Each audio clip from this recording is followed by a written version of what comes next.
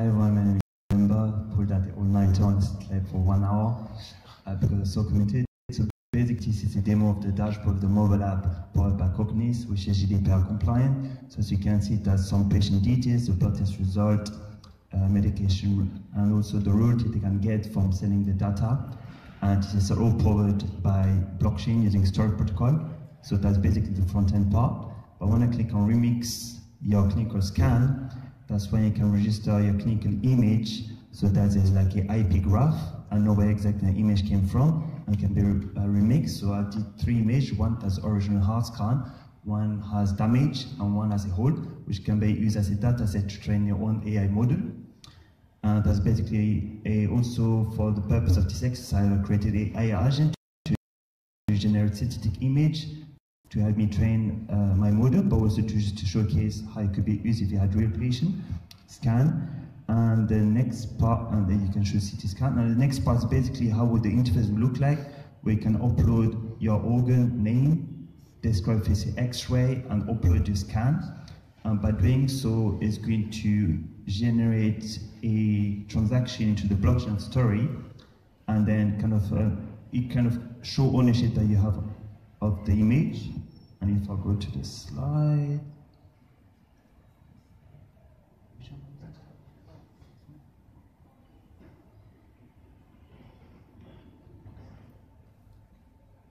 So, um, because I only have three minutes left, I'm going to go very quickly. The nutshell, patient data, meet Sarah, the patient has cancer, her story, and also uh, provide data set for AI tech startup.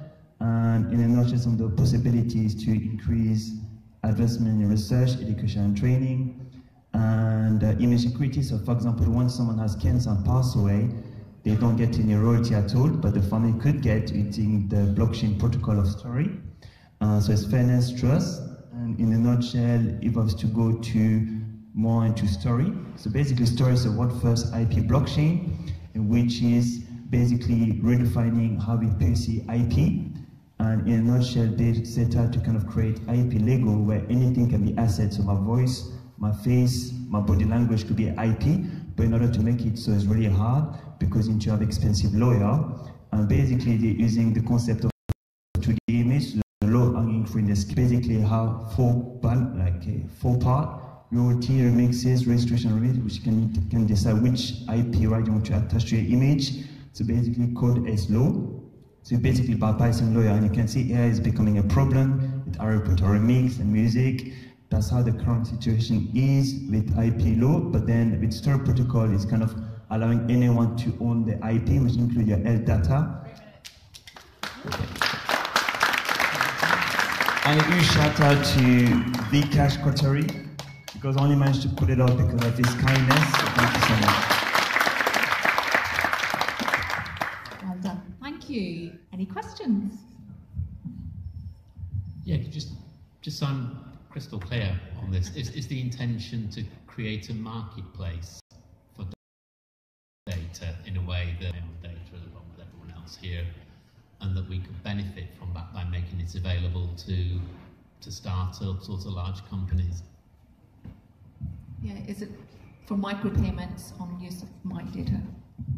So yeah, basically right now, I went to the conference from Coxstack in Friday, which is the first AI symposium in medicine, and basically they're saying that the data that's created from patient imaging, the data controls the hospital, but then you as a patient, you should be able to own the data, and right now they've been using all the data uh, scanned from patient at the hospital in Kings, and train their own AI model, and they're able to generate revenue from having different partnership across the globe. But you as a patient that provided your IP to them, you're not getting any royalties. So the idea is to be able to use your own IP, which is your scan, and be able to set that data set to that's creating the sector of IP finance, where you are investing in your health.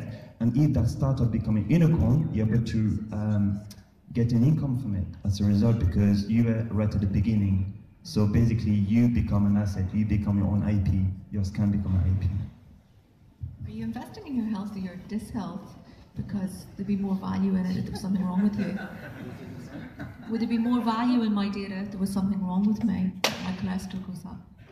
So just answer your question. So like uh, when I went to a meeting yesterday, someone mentioned that people data could be sold for $250 with everything, which I think is totally unfair because really, like for me, so there's two aspects. There's people that's sick and there's proactive care. Uh, Uh, advocate of social prescribing, but really what you should be looking at as we get to the future, we're looking at acting healthier and the action is taken could be used as data.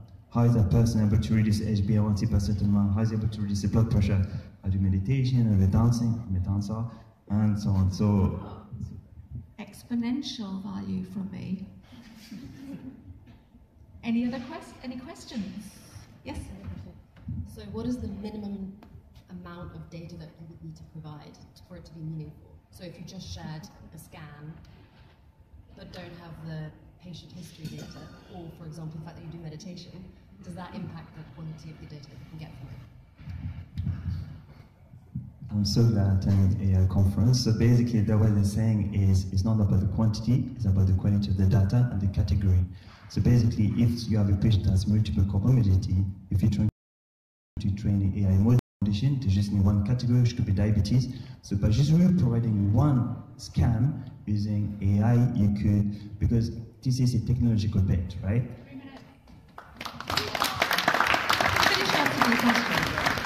So this is a technological bet because I believe everyone is going to have at some point your own large language model running your mobile phone and AR glasses. So that means any of the data that you have could be synthesized to do one image into 10. So for example, if you have breast cancer, you could say, I want the size of the tumor to be slightly bigger, to be on a different part of the breast. And this data that could be used to create your AI model and sell it to tech.